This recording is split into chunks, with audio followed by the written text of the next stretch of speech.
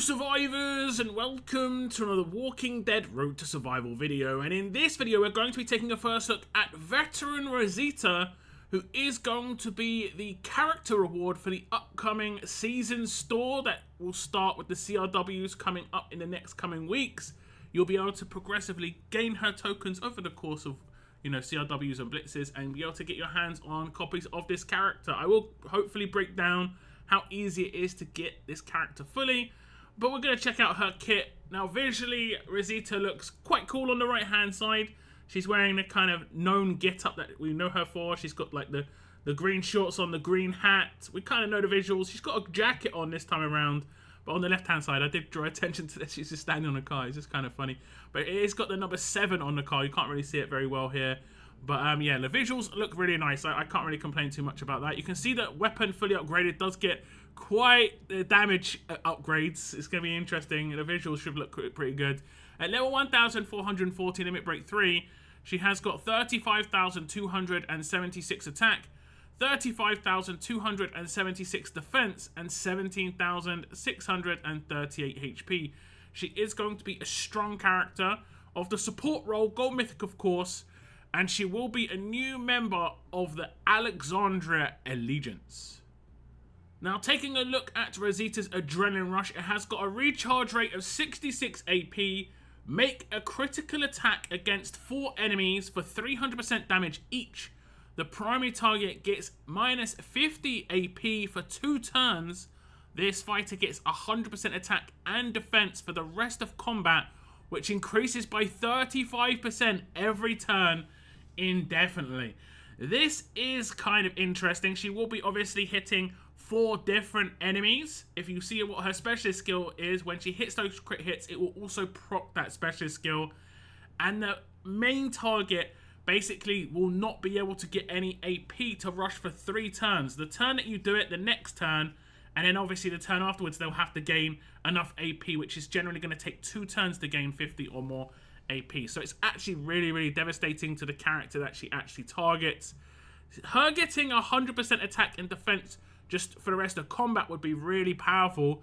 But the fact that it incrementally increases by 35%, 5%, sorry, 35% every turn indefinitely means that obviously the, the longer the fight goes on, the more powerful Veteran Rosita gets, the more powerful that Specialist skill gets, and obviously scales to maybe boost the damage output for the Signature and anything in her passives as well. You want to get this Adrenaline Rush off nice and early. If for nothing else, guys, this character is going to be elite for Alexandria and Faction Assault.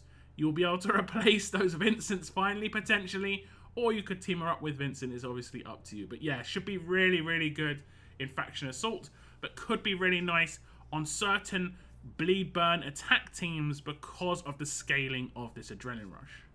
Okay, so here we are on turn one, and we have got the Adrenaline Rush up of Rosita.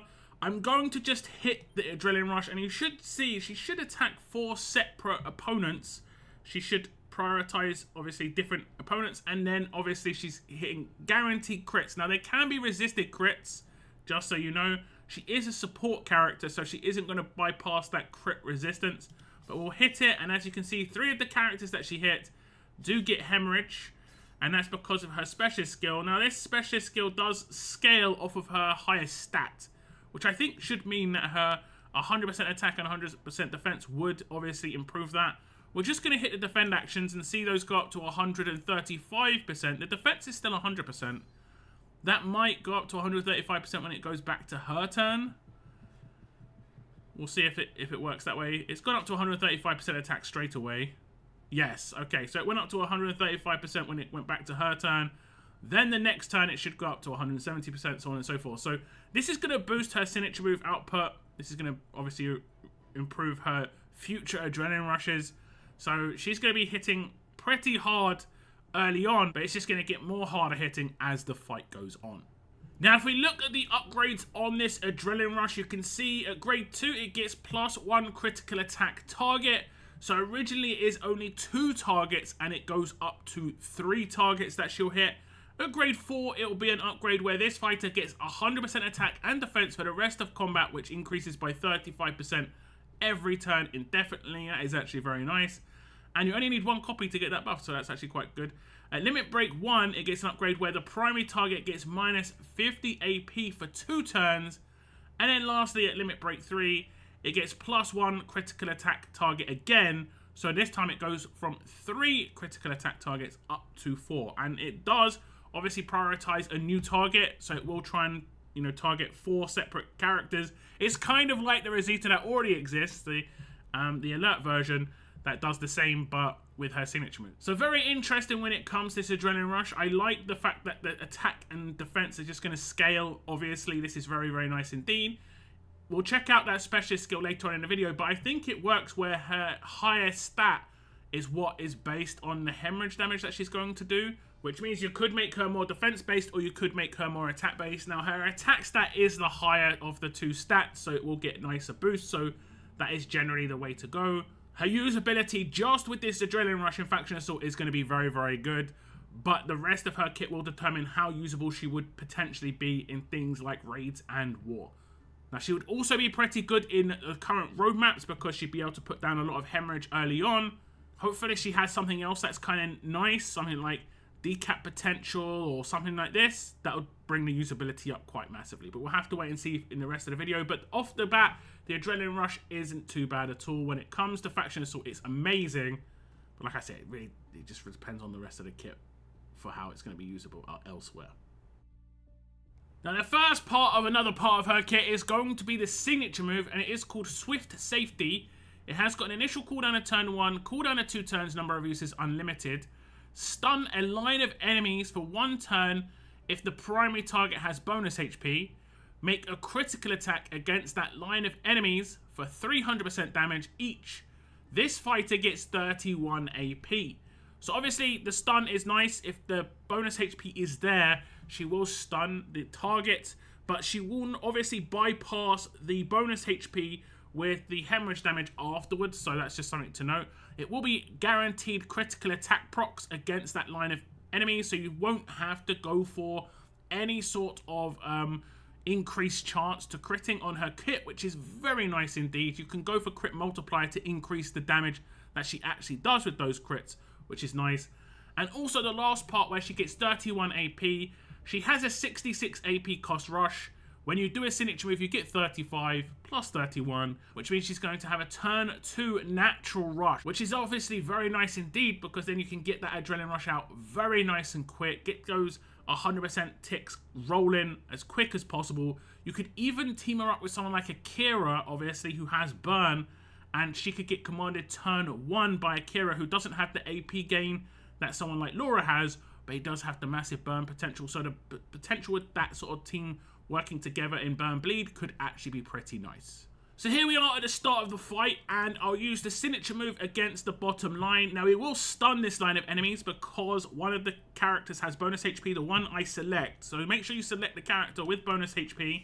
But in this case, they both do, but it is what it is. We did actually have a resist on um, the stun because we have got Clementine lead. There is going to be potential debilitating status effect um, like resist.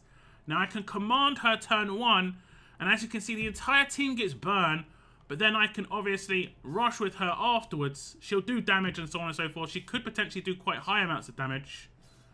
Because she's obviously guaranteeing the crits. I can scale this. Which is obviously nice as well. And you can see there's now hemorrhage and burn on the enemy. If I put like Zachary in this team, there could be normal bleed as well. Very nice potential, honestly, when it comes to burn bleed in terms of getting the stuff off quickly. And don't forget, obviously, hemorrhage does scale up um, it doesn't look like the second proc of Hemorrhage stacked onto the first. Maybe it's only one per turn proc. I'll uh, obviously message Scopely to see how that Hemorrhage specialist skill works. But if you have skill-based Hemorrhage, it obviously does stack with the current Hemorrhage that's already down. Now going straight into the upgrades, you can see at grade 3 she gets an upgrade where she stuns a line of enemies for one turn if the primary target has bonus HP. At grade 5 it gets minus 1 to starting cooldown, so at a low grade it goes to a turn 1 starting cooldown plus a low grade. You also get the scaling damage on the Adrenaline Rush, so she does become pretty useful, at least for Faction Assault at a very, very low grade, which is nice. Then at LB2, it gets an upgrade where this fighter gets 31 AP, and this is obviously going to mean that she can get that Adrenaline Rush off quicker. As you saw, I could do it naturally turn 2, command turn one. I'd say this is a minimum if you do want to potentially use this in any sort of normal attack team, just because you have to get the ball rolling on her adrenaline rush when it comes to the stats increases, the hemorrhage being laid down as quickly as possible. So this is very nice that she does manage to get a natural turn 2 rush. It is unnatural AP gain, of course, so she can be exhausted. So just be aware of the fact that she can take significant damage if she has exhaust. But otherwise, it looks actually pretty decent when it comes to the combo between her signature and Adrenaline Rush to get the ball rolling as quickly as possible. There's a little bit of control in here as well, which is a nice little bonus. I wouldn't necessarily say this is anything too amazing to really th think about, but it is just a nice little bonus. It will stop weapons from proccing on the line she attacks. That's just worth noting. So she can obviously have a better chance of not being like stunned, absolute defended, so on and so forth. So yeah, the signature move is interesting. Like I said, I think the combo with the Adrenaline Rush is nice. Increasing her speed is the most important thing here, I think. Now, checking out Rosita's mythic abilities, these are the passive skills. She has, of course, got Cunning because she is a support character. When attacking or being attacked, 30% less likely to trigger enemy weapon effects and walker effects. And then the second one's called Pillage.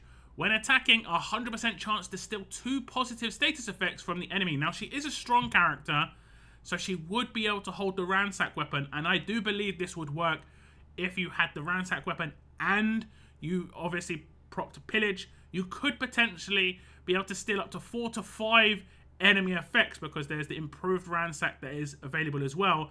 That could be really cool. That could be really cool. Be able to steal five effects from an enemy like I say, very, very nice indeed. The next one's called Blood Mark. At the start of each turn, 100% chance a random enemy gets minus 15 defense for each enemy with a bleed status effect for two turns.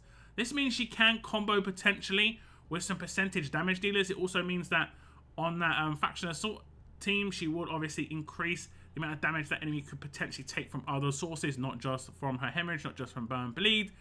And the last one is called Bleed Out. Increase all bleed damage this fighter does by 25%. This would include her specialist skill Hemorrhage, but would also include like if she was modded to actually have bleed on attack, which could potentially be a good idea because that's her bleed damage to be able to lay down. And because her attack scales massively off of her adrenaline rush, obviously it's going to increase the amount of damage that she's going to lay down with that bleed initially anyway because um, because it's based on the attack stat. You can get a, a Paragon, I think, is 8% of the character's attack put in bleed. If she's got 100,000, that's 8k, but every time she gets the increase from 100%, 135%, 170%, it just goes up and up and up. If you have a character that extends bleed, it's just going to stay on the enemy for a very long time. Someone like Rhodey you could team her up with in attack teams. Very nice potential in my opinion. You could also even give her a burn mod as well and she'd lay down burn with her adrenaline rush on every enemy she hit. That could be interesting as well. So yeah, I think uh, the burn bleed potential on this character is quite good. You could have her in a full burn bleed team or she could just be that off-brand niche character on your attack team that does lay down burn, bleed, hemorrhage on turn two to four characters potentially doing massive amounts of damage. I will mod this character for the next attacks just so you can see what I'm talking about. Okay, so here we are off of turn one, and what I'm going to do is I'm just going to do the signature move against the bottom line. I have got burn and bleed mods on this character now, so I will be putting down some extra damage over time. Obviously, this scales off the attack that you have on the character. It does mean that, you know, obviously the higher attack you have, the more damage it's going to do. As you can see, we have got three damage over time effects. I'll just defend on Clementine. I've managed to put down 20k on turn one, and this character hasn't got massive attack stat right now. You know, we haven't got the 1535 surrounding team. We haven't got the massive attack buff, which we have got now.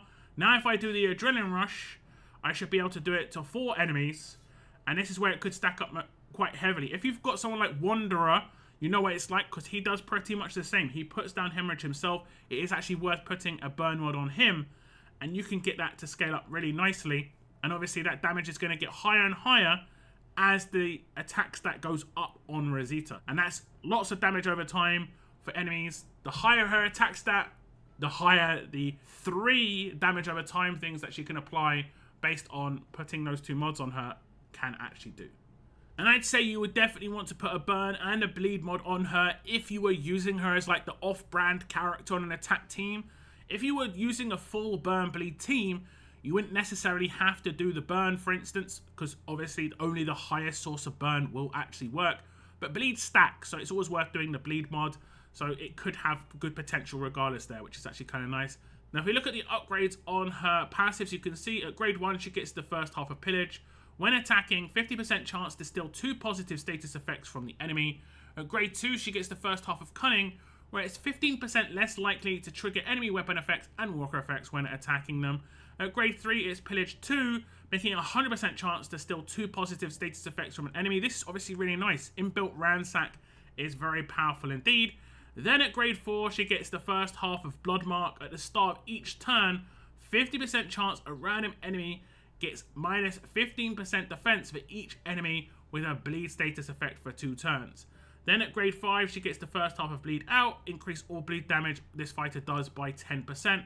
Moving on to the limit breaks, she has Cunning 2 at limit break 1. When attacking or being attacked, 15% less likely to trigger enemy weapon effects and walker effects. This obviously stacks with Cunning 1, making it 30% total. Limit break 2, Blood Mark 2 comes in, where at the start of each turn, 100% chance a random enemy gets minus 15% defense for each enemy with a bleed status effect for two turns. And at limit break 3, Bleed Out 2 comes in where it increases all bleed damage this fighter does by a further 15%, making it 25% total. This is, like I say, really nice when it comes to her overall kit. It is boosting the bleed potential on her hemorrhage, so on and so forth. Also, the bleed mods that you potentially could put down as well. It looks really, really nice, if I'm honest, when it comes to what you need from Rosita's actual kit. Now, is it good enough and fast enough for attacks when it comes to war or when it comes to uh, raids? It may not be for like the top tier. It may not be. It most likely won't unless you're building a burn bleed team. However, it could be good at punching up against teams that you would struggle against because it bypasses a lot of their most important stats. Things like bonus HP, defense rating, that sort of thing. And that is actually not too bad at all. Now, do remember, because she can do her signature with off of turn one, she can actually do the inbuilt ransack to a line of enemies straight away.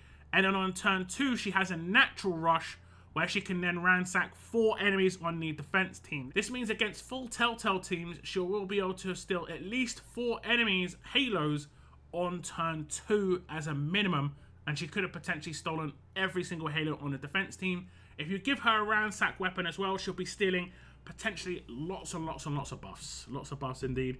Now in Faction Assault, I don't think she actually needs ransack on her weapon. Just it being in her passives is enough but she could potentially have like stun on attack just to give yourself extra chance to proc control on those bosses and just stack up that burn bleed and uh, and hemorrhage as you attack. So the passives definitely work for her kit. Should be very nice indeed for increasing that dot damage.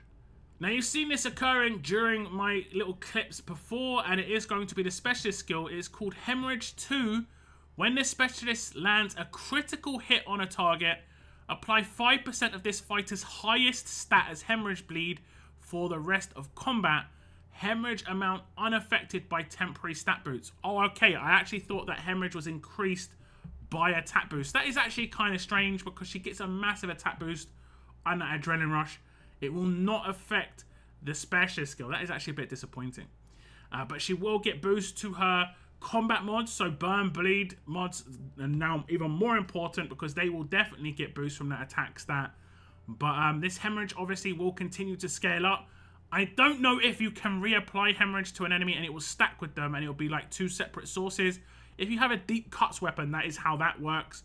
But um, I'll have to actually ask Scopely if this is working as intended because I did test it out and I couldn't reapply hemorrhage to the same target where it effectively added the same hemorrhage again, which is like I said, you can do with a deep cuts weapon, which is which is a bit disappointing because it means the specialist isn't as good as just a basic weapon adding hemorrhage, which doesn't make any sense. The specialist should always be the most powerful type of that kind, in my opinion.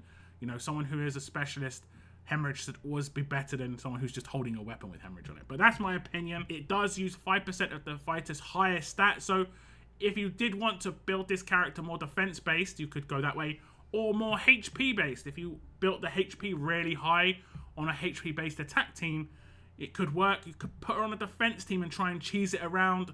The signature move off of turn one would be pretty decent, potentially stunning enemies. And obviously, her rush off of turn two could be potentially hitting lots of characters, ransacking them, also laying down the hemorrhage. Plus, if you've got a burn or bleed mod on Rosita, it would also do that. If she's hidden behind a shield, like I said, it could be just a little bit annoying to deal with. But otherwise, her defensive stats are not that amazing. So she's more of an attack team character for sure. Now, unfortunately, Veteran Rosita does not have an attached weapon. But on the left-hand side, there is an attached weapon in her hands.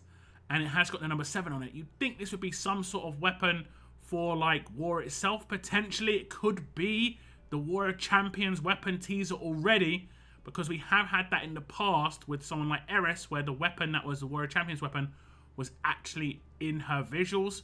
So could this be the, the War of Champions weapon visuals? That would be kind of cool. Will it be a strong weapon? It does say 7 on it. It would be War of Champions Season 7. We'll have to wait and see there. But when it comes to Veteran Rosita's weapon, there's a quite a few options. You could go for more attack-based weapon. You could also go for like a, a ransack-based weapon. It's completely up to you. It's worth testing out for sure. It really depends on the kind of team you're building her in. If you're building her in a damage over time team, Ransack will probably be more important. But if you're building her in a non-damage over time team, then you know maybe her doing a bit more damage would be more important. But at the same time, you might need Ransack because generally speaking, someone having it is actually quite a good idea. However, she has got it built into her kit. You might think, hey, that's that's enough. I don't need to double down on Ransack. I've already got it built in her kit. I can go for damage on her weapon, try and get her to nuke as much as possible. And she should be able to hit pretty hard because those are guaranteed crits. You can obviously manipulate that with the weapon that you put in her hands based on, you know, hitting them with the 100% HP, 1535s, and obviously combat mods with crit multiplier, so on and so forth. So she shouldn't be too bad when it comes to just pure damage anyway. So that is Gold Mythic Veteran Rosita, and at a very minimum, she'll be very, very good for the faction assault for Alexandria. She should be improve your team regardless in there, but she could have some niche usage on attack teams in raids and war, but maybe even those more difficult road maps, like I say. So she has got some all-round gameplay usage, which should be pretty good for the overall player base. I think if you're just looking towards the top end of war attacks, well, I think you're going to generally be disappointed a lot of the time unless you're dropping advanced and ultra, and that's just kind of how the game is. But when it comes to a character that's usable in wider parts of the game, Veteran Rosita should be out. She is going to be available in the upcoming store. Get your tokens in Blitzes and CRWs. It seems like you maybe only need two copies of this character to really get the ball rolling in Faction Assault. I'll be testing her out as soon as I do get her for all the gameplays. I want to thank you very much for tuning into this video. Leave your thoughts in the comments down below. And as always, keep on surviving, guys. Keep on surviving.